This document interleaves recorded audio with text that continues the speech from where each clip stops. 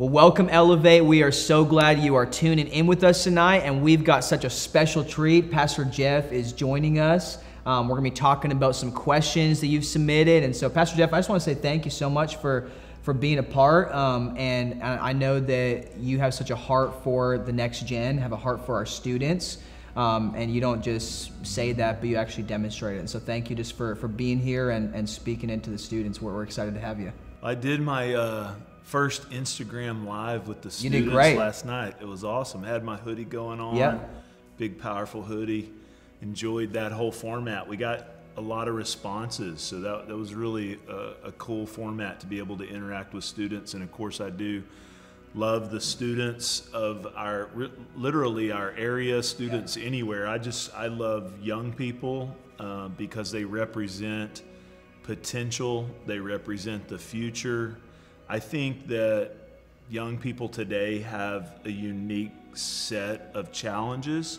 I know it's easy to feel sometimes like, you know, we we're the only ones with this challenge. We're the only ones with this pressure because if it's what you're facing, then it feels so real. Right. You you don't realize everyone has been a young person at some point and they had their own set of challenges, but I do as, as I've gotten closer to the situation, my own kids being teenagers and having opportunities at my house to sit around with young people and, of course, interact with you and all the other ones that lead our students, I've realized there's some unique situations, unique challenges, and, and really it's a strategy of the enemy to stop them from what God has planned for yeah. them.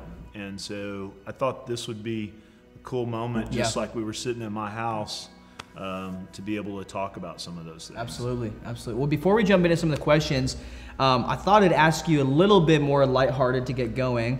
Um, you know, fashion and what students wear and stuff is, is a big deal, of course, and maybe having the right brands and all that kind of stuff. And people express themselves differently with that. Uh, but I think we'd all love to kind of learn maybe your lens on fashion. What's kind of what kind of perspective do you have? You know, as you're wearing your khakis and your, your black polo, and just give us a little insight into into your mind when, when you think about your fashion. I, I have I have no fashion. I, I don't even know what fashion is. So this is this is my uniform. I have about five pairs of khaki pants.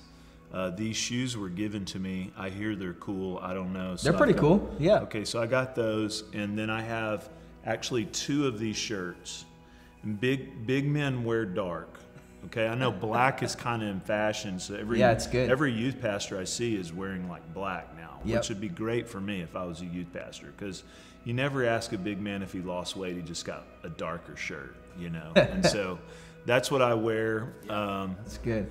Well, thank you so much again for being here. And we have we've had so many questions coming in from students that we've been asking on our Instagram. Hey, ask us questions you've been thinking about. Um, and it's interesting to see some of like the commonalities between the questions. We've been yeah. trying to kind of dissect. Okay, so overall, not just isolating one question, but overall, what are some like the massive things that students are asking? And a lot of it really comes down to pressures. Yeah. Pressures that they're facing from pressures at, at home, maybe at school, with their friends, with thinking about their future, all that kind of stuff. And so I'd, I'd like you to maybe just give some insight to students. Um, and I think it's so valuable just for students hearing from you, you know, your, your years down the road, but you remember back to your own teenage years as well. Yeah. Maybe give some eh, perspective to students just overall about pressure. Um, and we can kind of just have a conversation about that. Well, you know, I I understood this at a different level. Um, I wrote a book called Who Am I? And just the backstory to that book, it's all about identity.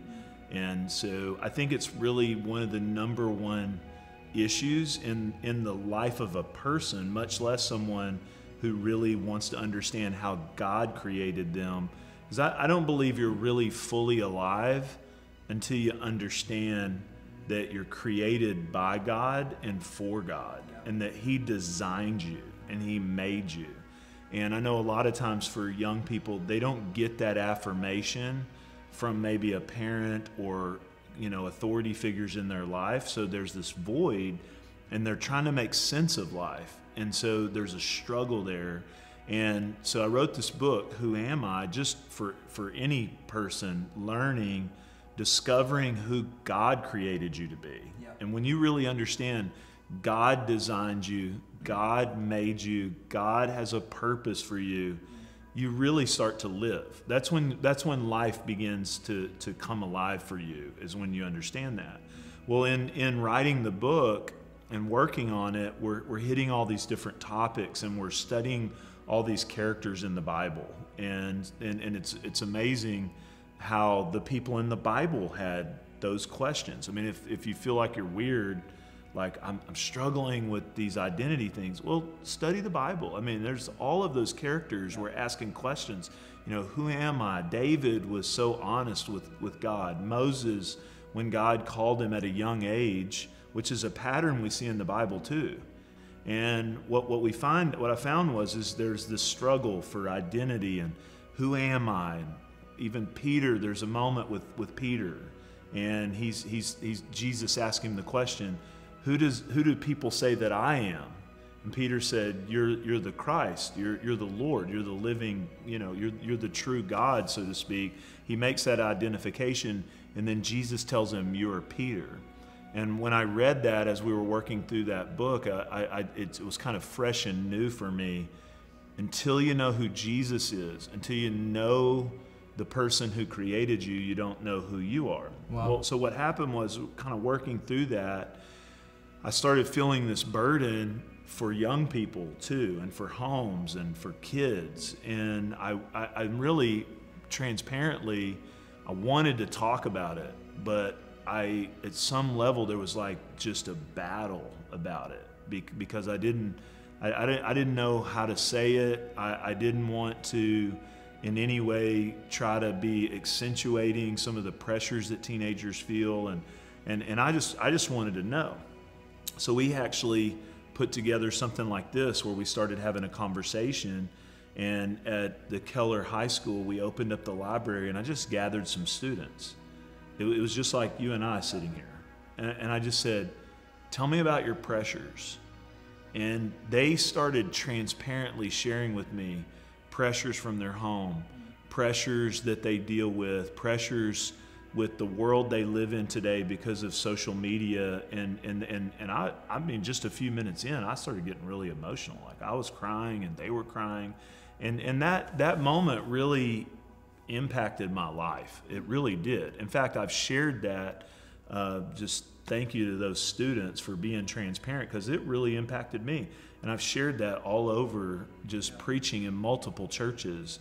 And every time I share it, like parents are crying, teenagers are crying, families are, because they're, they're, someone is expressing what they feel like they're fighting all by themselves. And so I think being a teenager, being a student, is a difficult period in life. It is. But I, I just want every student to know that um, I hope you have a fatherly voice in your life that's saying this to you, but I just want to say it's going to be okay. Yeah. You're, you're going to make it. It's, Yeah. it's, you don't have to have it all figured out now. Just keep taking the next step that you have in front of you, and, and it's going to be okay. God has a plan for you. And when you believe that, I can say it to you and say, God has a plan for you. He loves you. He, he, he designed you, He created you. You're, you're made for a purpose. You're going to make a difference. Um, I can say that to you, but when you really sense that God really says that about you and He means it, it's life changing. Yeah. It's life changing. I know, Pastor Jeff, you you had a relationship with God from early on in, in, in your life. Um, maybe speak to like what do you see as a real thriving relationship with God? How does that actually impact and play into the pressures that we face? You know, I'll, I'll say I, I did have a relationship with God at an early age, but I will, as, as the same as there's some pressures and challenges in today's generation, I think we have a lot of students in our church that I think they're, they're further along than I was in a lot of ways. Just at the level of understanding they have, the, the equipping that they have. You know, a lot of times you might think, oh, you know, this person or that person was further along. I, I really believe we have a generation in terms of I did I didn't understand worship at some level. I didn't I didn't know a lot about the Holy Spirit. I I but I think when it comes to the heart, was I perfect? No. Did I make mistakes? Yes. I mean, every student is kind of finding their way.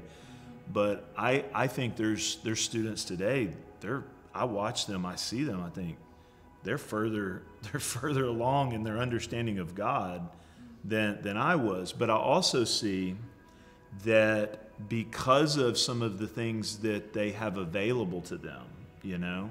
I mean, our youth group was like it was not it was just like a few people and you know uh, just it, it, wasn't it wasn't elevate yeah. okay it wasn't all of these dynamic retreats and all the stuff that they get exposed to so I, I do see a danger that you can be more around an environment of momentum you can you can find you know, there was only a few people at my youth group. You can come to something like Elevate where there's lots of students, and you think because you're hanging around something that has momentum and life and there's lights and all the music and stuff, that you really have a relationship with Jesus. But it doesn't work that way, okay? But I want to be real basic for a minute, okay? Because I want to talk to a student who is at a basic level going, Where do I find peace? Yep. Where do I find hope? How do I deal with anxiety? Well, the first the first step is you have to have a relationship with Jesus, okay? Not a relationship with everything in the world is perfect. Not a relationship with I've got all the right degrees or I've got the right job or if I get the right family or if I had if I had the right friend or if I had the right spouse and I know it's easy when you're a young person to think, well, he's saying that, you know, like when I get there, it'll be different. I mean, trust me, your, your spouse, I have, I'm, I married the love of my life. She's a phenomenal woman. She's a phenomenal mother. She, she is, she is the one God created for me. And the Bible says you become one. And yet she can't, she can't fulfill every need in my heart. There's no way. Okay. So at the end of the day, the most basic level, Jesus says, Come to me, all who are weary, all who are burdened, I will give you rest for your souls. I'm the one that gives you the rest. And Jesus is saying that in a time where there's a lot of unpredictable stuff. I mean, I think we read the Bible and think, were they like floating on a cloud in heaven when Jesus wrote this? No, I mean they were they were struggling for food, substance. I mean there was there was political upheaval. The the Romans were taking over their culture. I mean there's all kinds of stuff going on, and Jesus in the middle of that says, "Come to me." So the first thing I would say to a student is, not have you been to church, not have you enjoyed a retreat or a special worship service.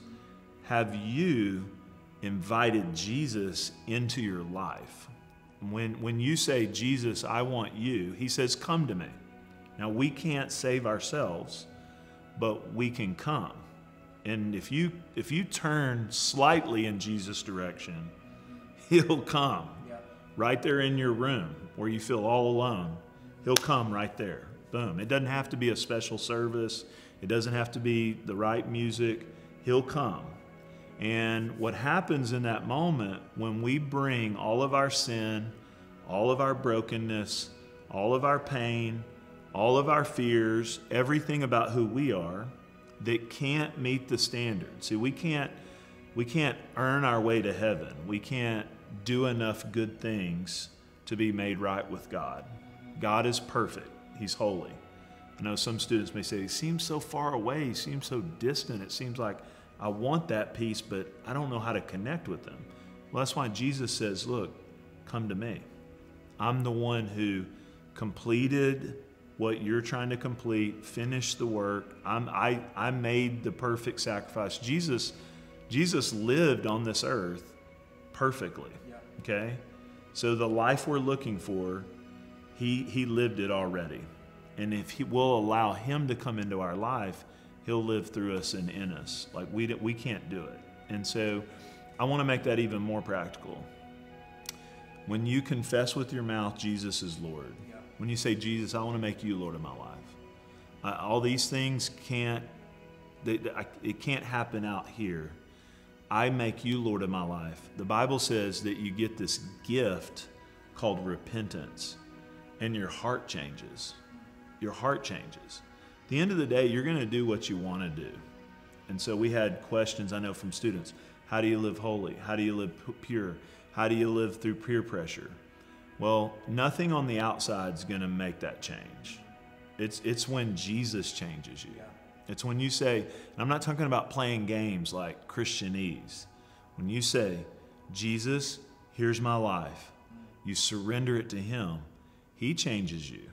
And then that doesn't mean you don't struggle or you're perfect, but I will tell you this your heart changes, your inside changes. And then now there's within you this person, Jesus, who's real, who's living, who starts changing your motivations, who starts changing your desires. And, and, and I found this in my own kid's life. Um, I know it's true in my life. Thank God for people like you, Jesse, who preach to young people. Thank you for services. We, we want to learn about God. We learn together, we grow. But nothing replaces you hearing the voice of God yourself. There's, there's, there's you, you have to right there. And so I would say practically, one, surrender your life to Jesus. Tell somebody. Hey, I, I prayed, I received. Go to Romans 10 9 in the Bible. If you confess with your mouth Jesus is Lord, believe in your heart God raised him from the dead, you shall be saved. When you confess him as the Lord of your life, the most high thing, and you mean it, you don't have to question whether or not He comes in. He comes in, He changes you. If you've prayed that prayer and you've been off and you're struggling, all you have to do is come. Come back to Him. Jesus, here I am. I'm totally surrendered. Again, tell someone so they can start helping you with your journey. But the, the practical side of that is sit down with your journal and tell Jesus about what you're, what you're stressed about, what you're anxious about. I'm, I'm being real practical here for a minute. Just sit and write down. Here's what I'm worried about. Here's what I'm concerned about. And then here's something we don't do a lot of times. Just listen. Let him speak to you. You know, let, let his word speak to you and start replacing what you're afraid about, what you're worried about, with a real relationship with Jesus. And I, and I want you to know, I want to say this because I, I feel this strongly from the Holy Spirit. Some of you are going to start a whole new pattern. I, I, that's what's so powerful about this. Never underestimate one person in a sincere relationship with Jesus. When you do that over and over and He speaks to you and He grows you and He develops you, you can literally set a pattern that changes generations. Yeah. Yeah. I, I, think about my mom. You know, she, she grew up in a home. Her, her, her father was an alcoholic. She, he was gone a lot. And she just, she walked to a little church that was just up the road and got saved at a vacation Bible school. And there wasn't a lot of the resources that we have today. There wasn't videos of youth pastors teaching the Bible. But she learned how, in that private place, to learn how to spend time with God, learn how to pray she was praying for her husband. She was praying for her children. She she prayed me into the kingdom. She she she she started building that that that secret place, private place with God. And so where I am today started with a little girl in the middle of East Texas who got genuinely saved when there was no support around her. She would go to church by herself. And she and, and my my father, a lot of people don't know this, but when I was younger, my father was saved, but he had been hurt by the church. And he was a good man, a man of integrity, but he wasn't he wasn't he wasn't into all of this. I mean, it's funny what I do today, he wasn't really into it because he just didn't get it, you know.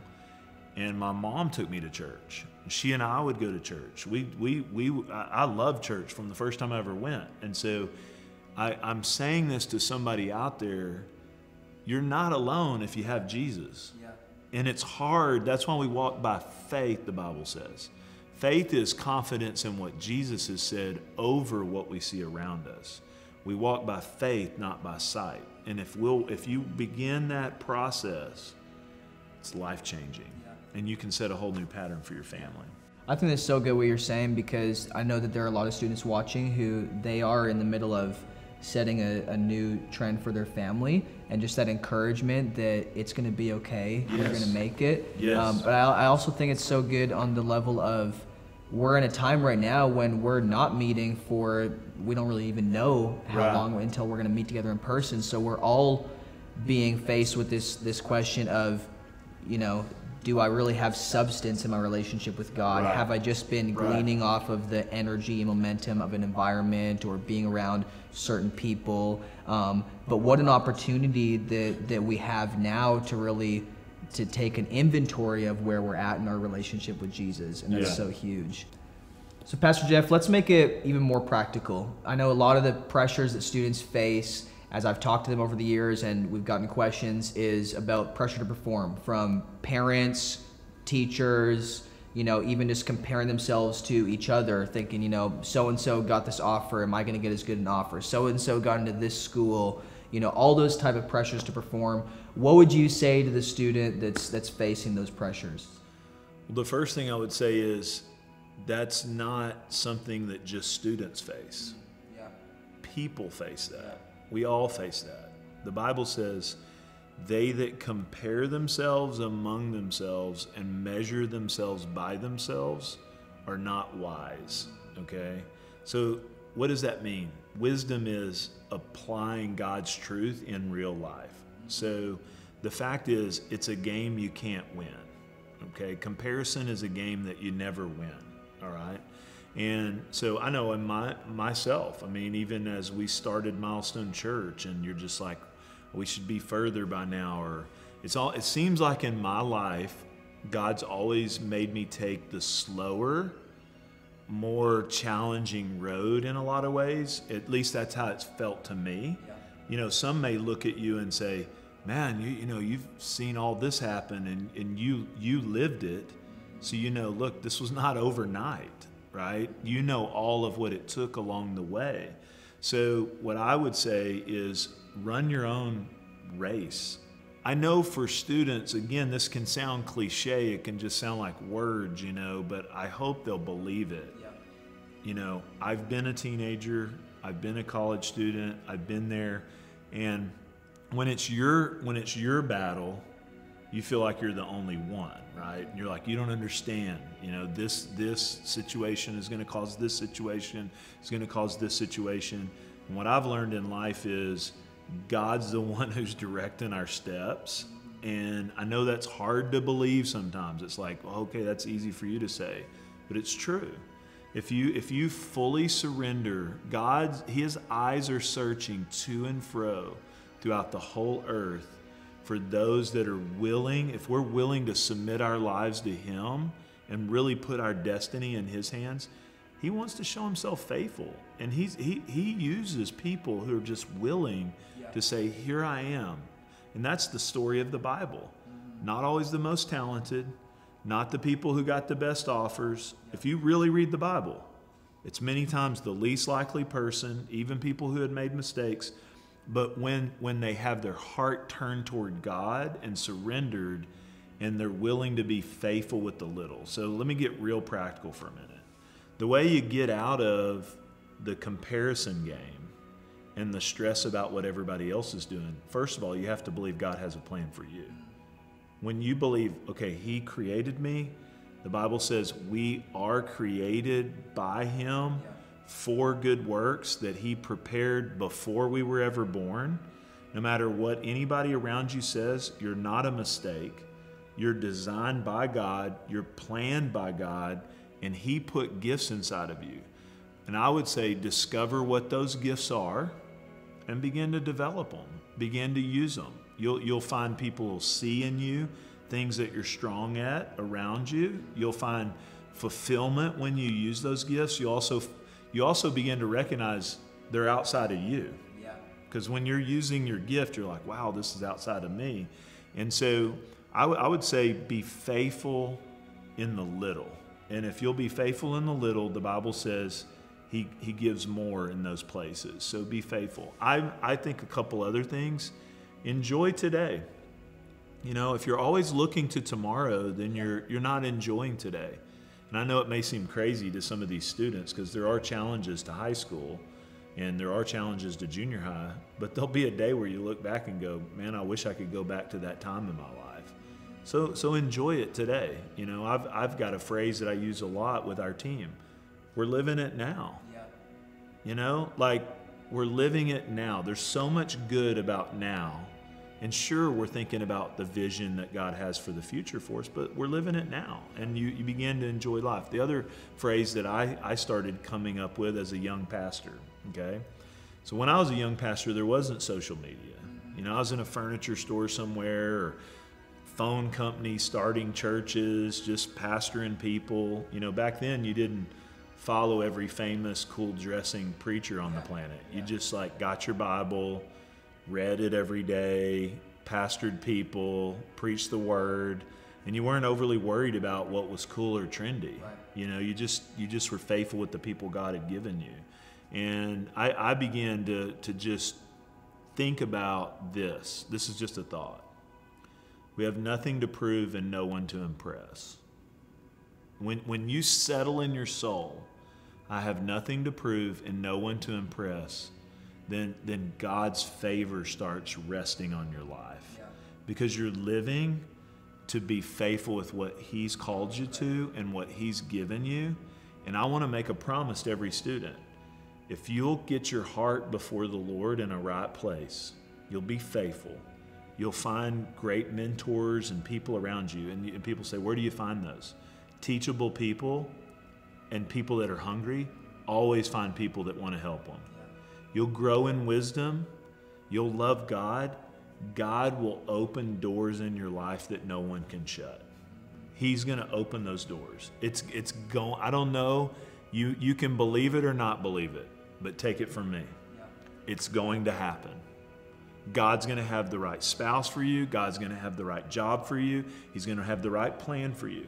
Am I promising you you're never going to have struggles? No. There's going to be challenges. In this world, Jesus said we'll have tribulation. Yeah. But He's going to carry you through. And you'll look back on your life and you'll realize, you know what? God's been way more faithful to me than I've even understood. Yeah. And you'll just keep taking steps along the way, and He'll lead you to your destiny. And I just want every student to know I'm cheering them on. Yeah. I mean, I believe in this generation, and I truly believe this. You know, we say it, pastors, you know, this generation will do great things. I believe this generation is going to carry the things of God further and do more amazing things than what we've seen. I think it's going to pale in comparison. We started Milestone Church with a vision for spiritual family and a vision to really see sons and daughters go further. And that's always been one of the things we continue to preach about. Yeah. And, and these students watching this in this format. And I'm thankful, you know, you always find something to be thankful for. Yeah. I'm an extrovert, so I don't like being cooped up in the house under shelter orders. Um, so I don't like that. I don't like the fact that we can't have church.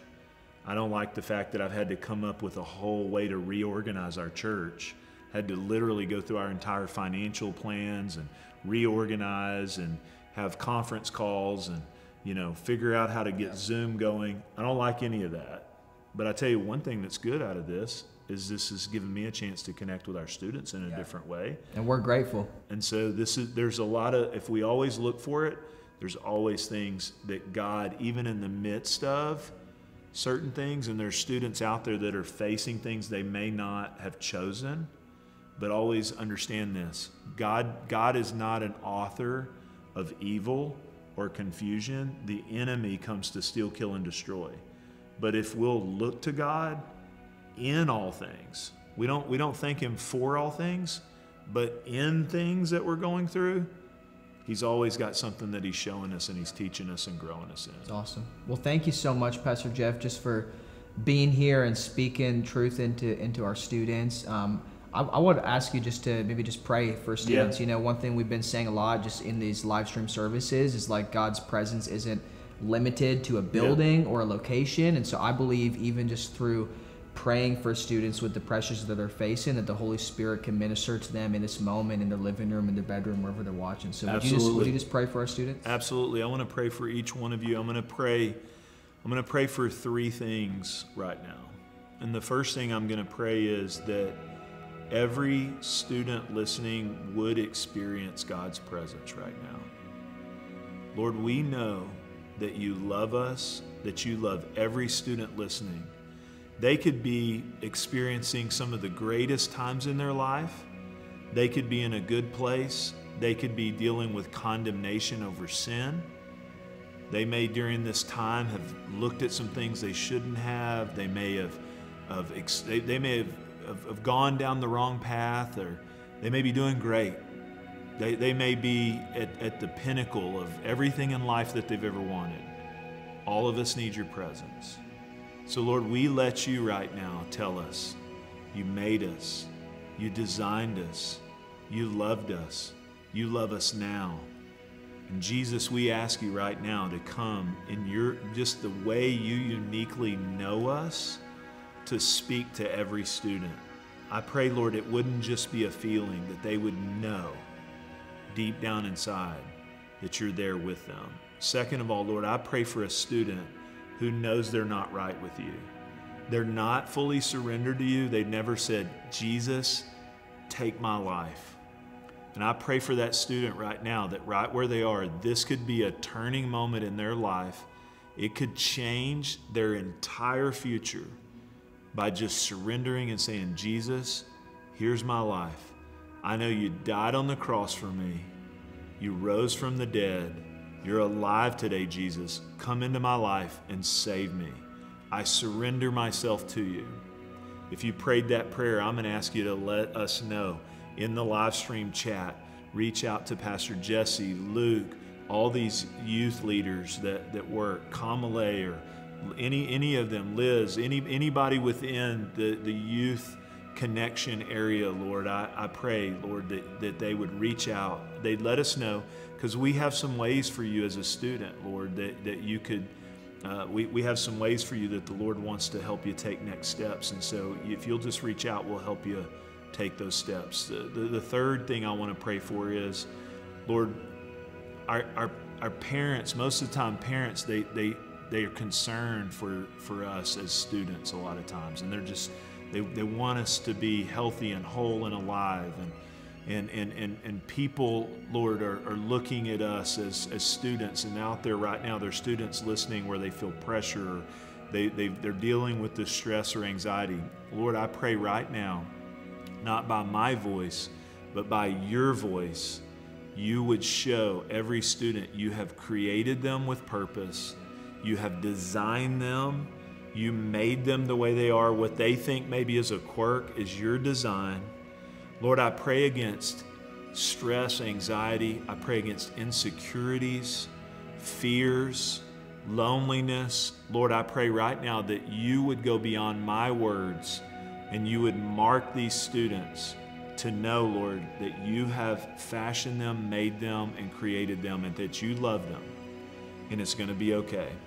You have a plan and a purpose for their life, and you're ordering their steps to lead them to that purpose. In Jesus' name, amen. I love all of you.